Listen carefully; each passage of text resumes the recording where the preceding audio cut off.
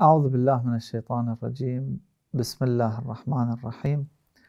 الحمد لله رب العالمين وصلى الله على محمد وآله الطيبين الطاهرين.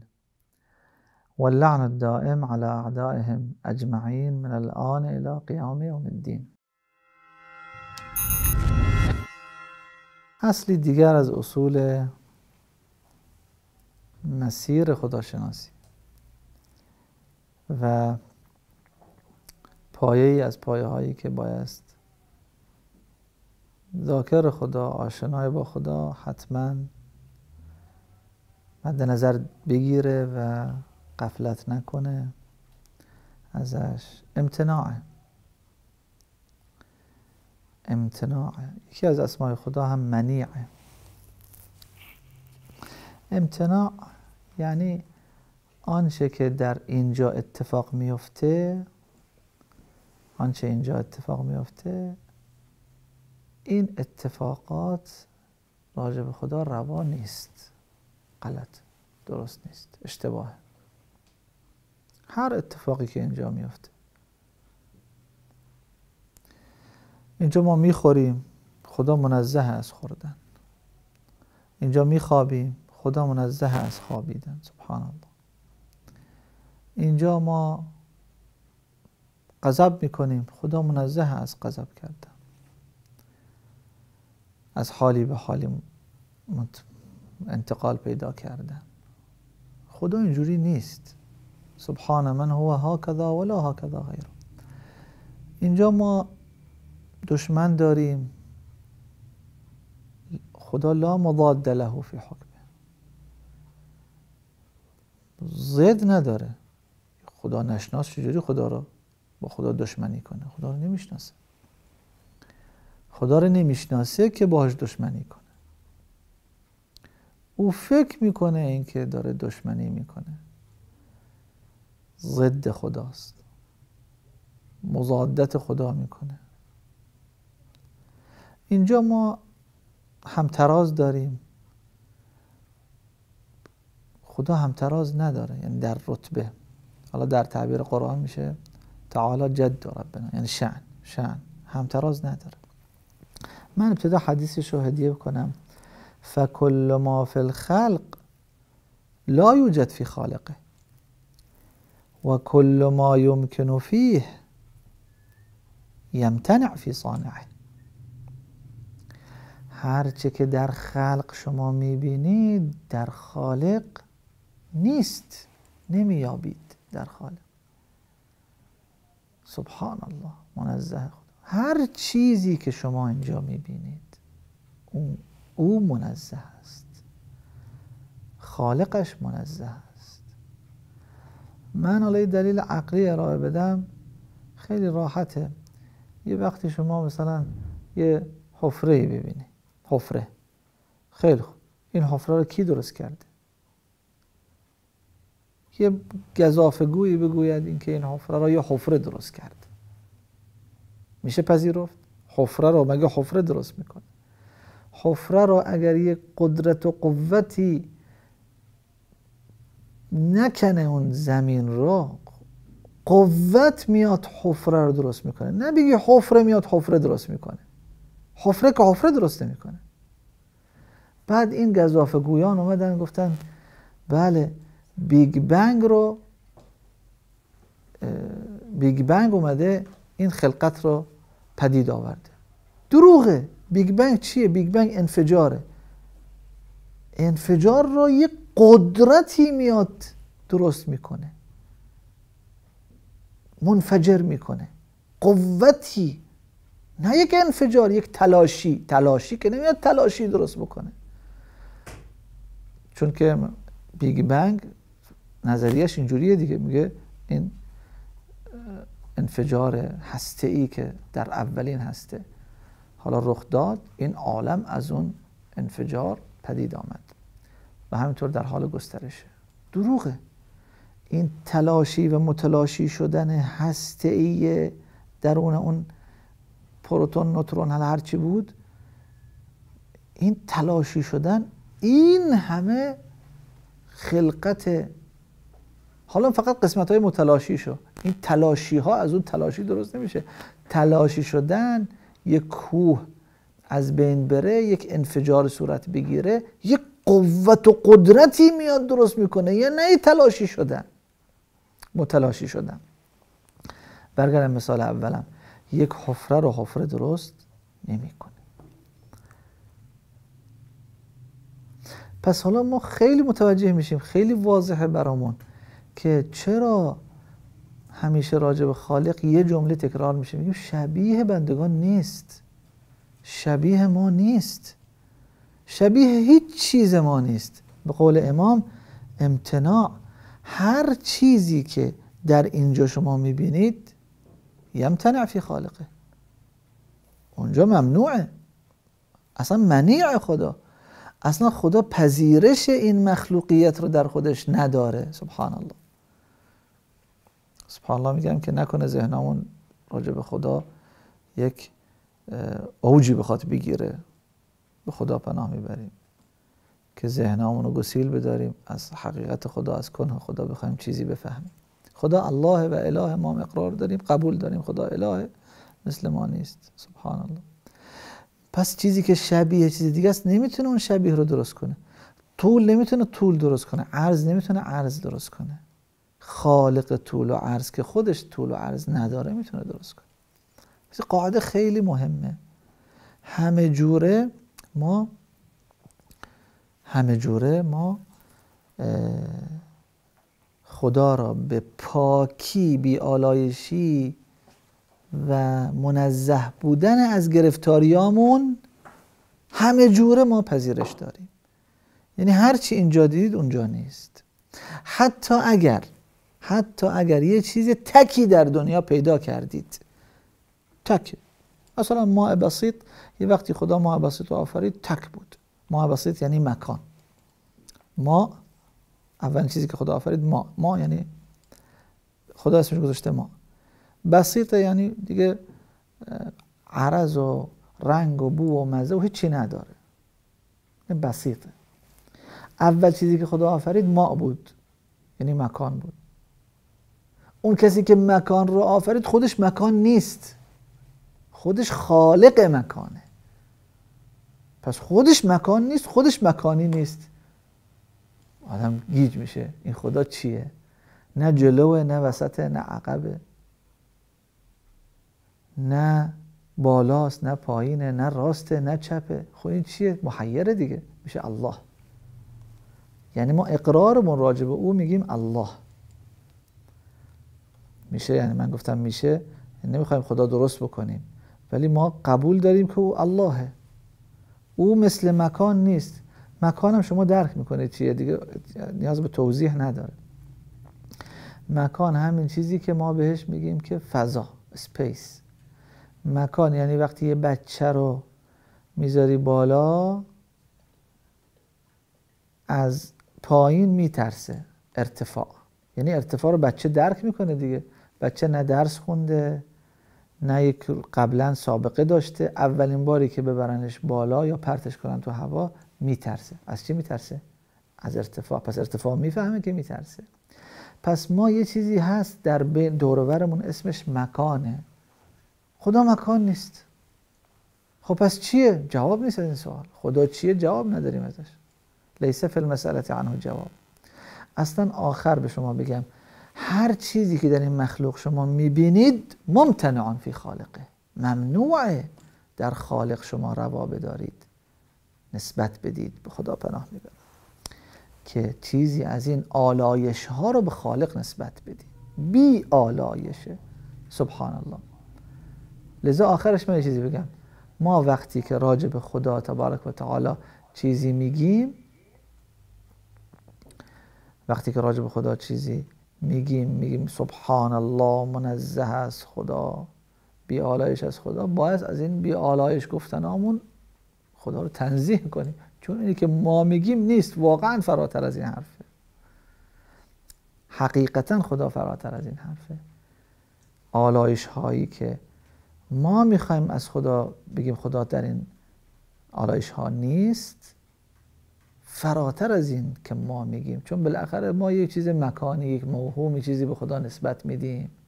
آخرش یادهایی که ما می‌کنیم به یه معلومی که در دلمون چنگ زده داریم خدا رو آلوده می‌کنیم. نه خدا بی آلایش. منزه. پس این حدیث از امیر المؤمنین بود. فکر کنم از امیر المؤمنین بود. بله. نه ببخشید از امام رضا بود این حدیث. حدیث دیگر که بله. ولا تحجبه الحجاب. خب. حاجبین خدا را حجاب از خدا نمی شوند حاجبین مثلا ابری نوری حجاب از خدا نمیشه. فالحجاب بینه و بین خلقه لامتناعه مما یمکن فی ذواته. خیلی جمله دقیقه. یعنی در ذات شما چی ممکنه؟ حالا من این مثال مکان رو زدم گفتم که حالا فرض کنید شما مکان تک چیزی بود که خدا آفرید. ولی خب ممکنه خدا دو تا مکان بیافرینه. مشابهش درست کنه.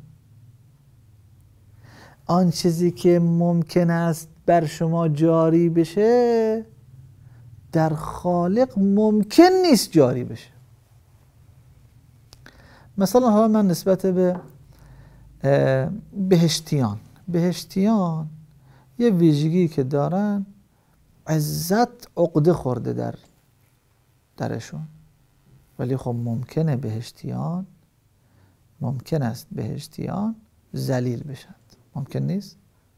چون مخلوق دیگه. حالا خدا خواسته که بهشتی هیچ وقت ذلیل نشه. ولی ممکنه. ماها که ممکن است درمون یک ذلتی خاری جهلی نمی‌دونم غضبی بر ما عارض بشه. در بهش یه اتفاقی که میفته خواب نیست. چون مثلا خواب دیگه از دست دادن نور هاست. ولی یک حالت مستی هست.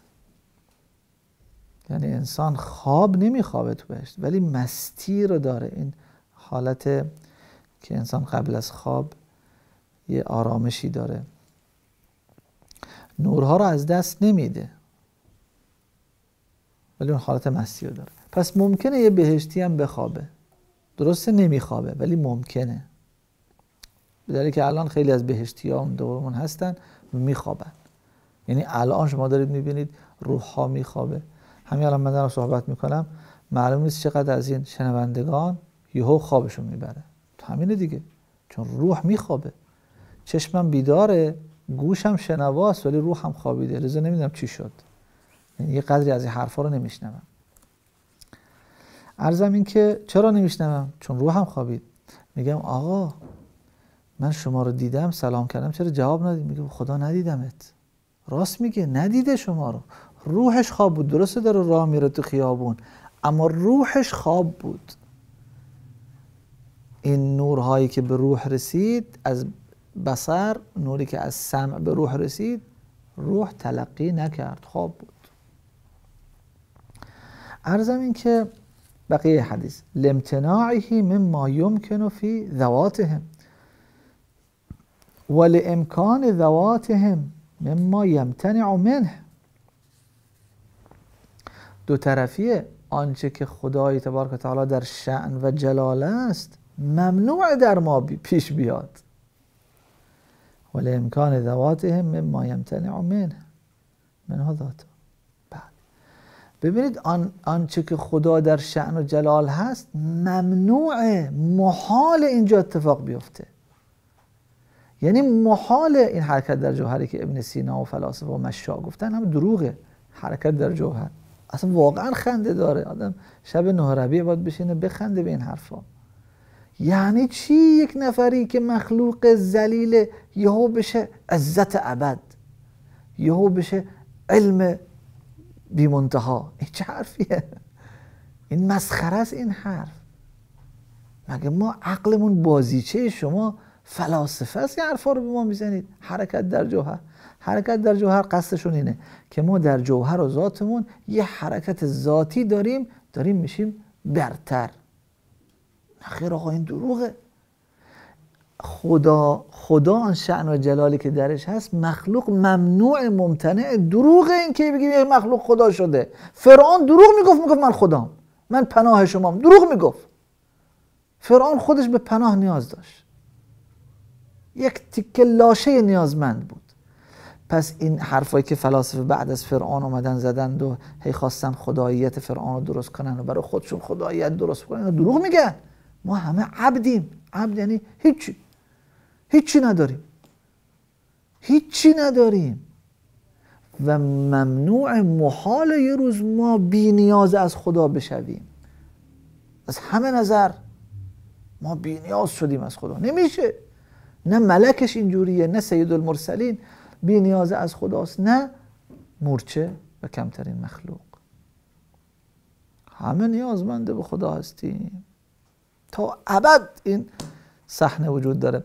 یکی از آیات قشنگ خدا که واقعا کوبنده است در معانی که فلاسفه به خوردمون اومدن بدند و ما با این تکیگاه ایمانیمون الحمدلله از شر فلسفه در امان هستیم. یک آیه هست در قرآن. پیغمبر اکرم رفتن به معراج. رسیدن به معراج و واقعا یک جایی با خدا آشنا شدن و در قرب الهی با خدا رفیق بودند و حتی جبرئیل هم حق نداشت اونجا بیاد و قدم بذاره. بله. خدمت اونجا که رسیدن خدا از این دیدار با سید المرسلین خبر داد. اذ اوحا الا چی؟ شما آیه رو بلدی؟ بخون. اذ اوحا الا الا کی؟ باید بگه الا حبیبی دیگه. چون الان دیگه محبوب ترین خلق از همه جهت کمال کامل شرافت عزت. خدا اسم این پیغمبر رو بخواد بذاره. چی می‌ذاره؟ الا حبیبی الا نجیه الا صفیه. الا ولیه الا نبیه نه الا عبده. پیغمبر در اون شکوه قرب الهی خدا اسمشون رو گذاشته عبد. عبد یعنی ندار هیچی نداره ما اوحا ما کذب الفؤاد ما خب میدم آقایون فلاسفه شما کجا می‌خواید برسید؟ از شرفی که پیغمبر درش از قرب الهی بود که بیشتر نمی‌تونید برسید. چطور میشه شما حرکت در جوهر دارید میرید در قرب الهی خدا میشید پیغمبری که به شر اشرفترین جایگاه رسید خدا نشد. عبد موند. اذ اوحا الى عبده ما اوحا پس این این دو نکته رو که امام رضا علیه السلام فرمودند.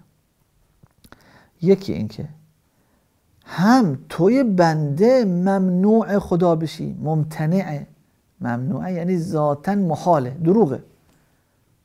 هم خدا ممتنعه یه روز به اخلاق ما بیاد ذلیل بشه ضعیف بشه حقیر بشه یا ندار بشه نیازمند بشه به یه مشورتی نیاز پیدا کنه به یک فکر و رویه نیاز پیدا کنه. نه نیست. ممکن نیست. این اتفاق ممکن نیست بیفته.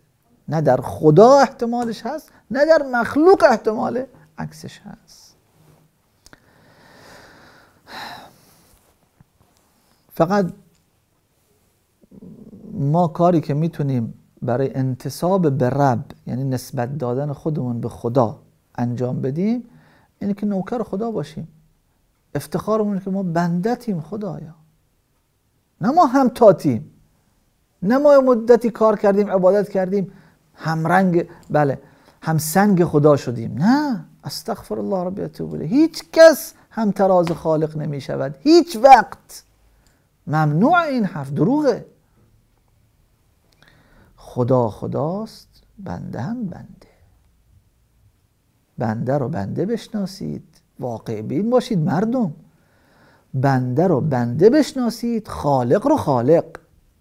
خالق شعن و جلالی دارد. هیچ وقت از دست نمیده بنده هم عبودیتی دارد که هیچ وقت از او جدا نمیشه. انت الذی فی الفقراء.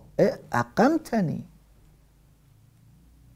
من در فقر و نیازمندی به تو مقیمم. مقیم یعنی پاینده. همیشه من من نیازمند خودم. اگر در بهشتم سلطان هم بشم من نیازمند به خالقم. من خطاکارم. خدا باید کمکم کنه خطا ازم سر نزنه. سفاحت ازم سر نزنه. جهالت ازم سر نزنه. خدا باید من اسمت بده. یه حرفی که پیغمبر اکرم صلی الله علیه و سلم یه وقتی پای کعبه زدن به مشرکین گفتن کدوم آدم تو حالا دیدید که خطا ازش سر نزنه؟ تو حالا دیدید کسی هیچ خطایی نکنه؟ هیچ حرف بیهوده ای نزنه؟ هیچ وقت پشیمون نشه بر کردارش؟ نیست. ببین ماها ماها خطاکاریم. حالا میگن اسمش انسانه از نسیان. نسیان یعنی اینکه فراموشکار. یه معناش اینه. یا انسان از اونس گرفته یعنی روح با بدن اونس می‌گیره. یه معنای دیگه. بالاخره ما اینجوری هستیم. یا نسوان نسا از نسیان می‌گیرن. فراموش می‌کنه مگه میشه کسی هیچ وقت فراموش نکنه؟ پیغمبر چه آدم عجیبی بود. لذا ایشون فرمودن شما منو ببینید یک خطا از من دیدید تا حالا. مهمترین انسانهای مشرکین مکه در ذکاوت و زیرکی و اینا همشون مشکل دارن خطا دارن حرف بیهوده دارن. مهمترین شعرا شعر جفنگ دارن. مهمترین شاعر. مهمترین سخنوران. کلام اشتباه دارن دیگه می‌بینید دیگه انسان جازل خطاست که میگن. برای همینه. پس پیغمبر گفتن تا حالا کسی نیومده هیچ خطایی ازش سر نزنه. اینه که می‌بینید من ازم خطا سر نمی‌زنه چون خدا دارم. پس من رسولم. یعنی کسی هست پشتیبان منه. نمی‌ذاره خطا ازم سر بزنه. کمک منه. خیلی حرف قشنگی زدن پیغمبر. هم عبد بودن خودشون رو معرفی کردن. من عبدم مولا دارم. من پشتیبانم الله. لذا خطا نمی کنم نه اینکه من یه فرعونی هم اومدم برای شما خدایی کنم. اون راهی که فرعون فرعون موسی رمسیسای بله دوم می‌گفت دروغه. نمرود دروغ می‌گفت. صدام دروغ می‌گفت. حکام امروز دروغ میگن. میگن ما پناه این عباد و بلاد هست. دروغ میگن. ما یه پناه بیشتر نداریم خداست. و اونایی هم که ولی خدا هستن ارتباط با خدا دارن خدا بهشون یه پناهندگی میده برای دیگران. همین. پیغمبرم همیشه می‌گفتن من عبدم. البته پناه تمام عالم به قول قرآن فعو الکهف. خدا اسم پیغمبر گذاشته کهف. یعنی پناه تمام عالمیان از رسول الله به خاطر اینکه عبودیت خودش رو فراموش نکرد هیچ وقت. همیشه عبد. یه قصه دیگه هست. یه وقتی پیغمبر اکرم حرکت می‌کردن یه زن یهودی ایشون رو دید و بله نه جریان اینه اشتباه شد پیغمبر اکرم نشسته بودند ولی خب پیغمبر اکرم نشستنشون خیلی متواضعانه و دو تا زانو رو به بغل می‌گرفتن گاهی یا دو زانو میشستن. خلاصه روی خاک. این زن یهودی خواست جسارت کنه به پیغمبر. گفت مالک جالسون جلست العبید. تو را چه شده که مثل برده ها نشستی؟ رسول الله حرف و پیچوندن برگردوندن.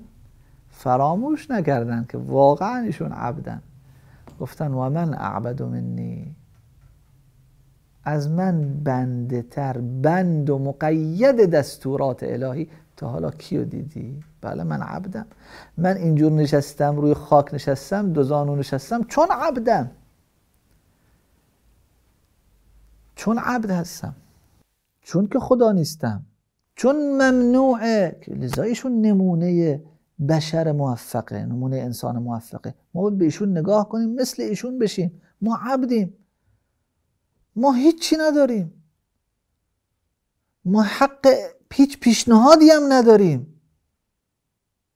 خدا فقط دستور میده خدا فقط نظر میده خدا فقط رأی میده. هرچی بیشتر بفهمیم که عبدیم مهمتر میشیم.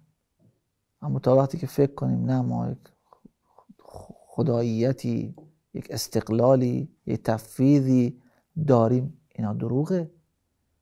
اینا مایه حلاکت ماست. فرعنته حالا یه تهدیدی امیر وقتی فرمودن کل نفس اضمرت ما اظهر فرعون که واقعا یک تهدید عجیبی برای بشریت و ماها که باید خودمون خلاص کنیم از این فرعنت. ادعای الوهیت ادعای خداییت. من فکر کنم من بی نیازم مستقلم. به خدا نیاز ندارم. کل نفس اضمرت ما اظهر فرعون. اون که فرعون رو زبونش گفت انا ربکم الاعلا تمام مردمان همچین تفکری به دل و خاطرشون عبور می‌کنه. حدیث رو ادامه بدم. پس چقدر حدیث گوهربا مهم قیمتی برای خودشناسی مفید؟ ما خدا نیستیم. لذا ما تو اسماء خدا که کار می‌کنیم این هم کار می‌کنیم انشاءالله. که بالاخره هر اسم خدایی که رسیدیم خودمون رو بدونیم که نیازمند اون کمال الهی هستیم. حیبت علم حکمت دست دراز و گدای ساحت قدس الهی هستیم. خدا بگه از در علی ابن ابی طالب بیاید چشم ما از در علی میریم جای دیگه نداریم بریم. چون توی خدا که تنها مالک علم هستی گفتی از در خانه مولا بیایید. چشم ما عبدیم ما که علم نداریم. بله. والافتراق الصانع من المصنوع. بله این فرقی که بین صانع و مصنوع است اینه که همیشه همیشه همیشه مصنوع و ساخته شده عبد است و همیشه همیشه همیشه صانع مولاست. و الرب من المربوب. و الحاد من المحدود. اونی که مملوکه مالک داره همیشه. اونی که مالکه مملوک داره. رب همیشه مالکه. بله. جمله رو دقیق تر بگم. رب یعنی مالک رب همیشه مالکه.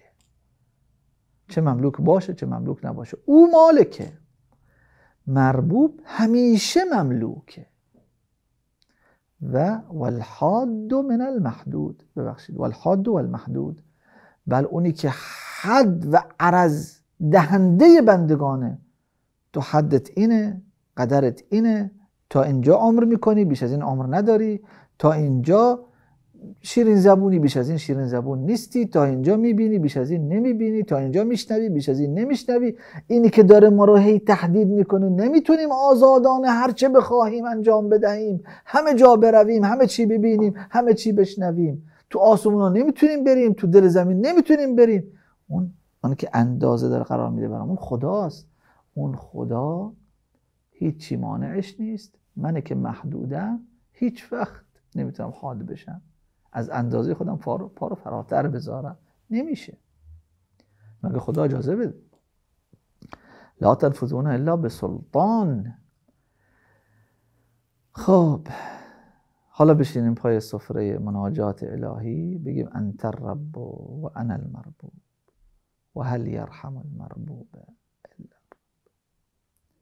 انت المالک و انا المملوك و هل یرحم المملوك الا أنت المولى و أنا العبد و هل یرحم العبد إلا المولى؟ أنت السيد و أنا العبد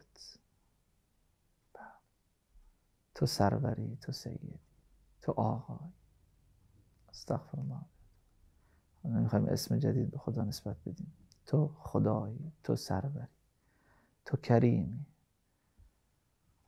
من ندارم من عاجزم من محتاجم همیشه ما محتاج میمونیم و همیشه خدا بی نیاز میماند.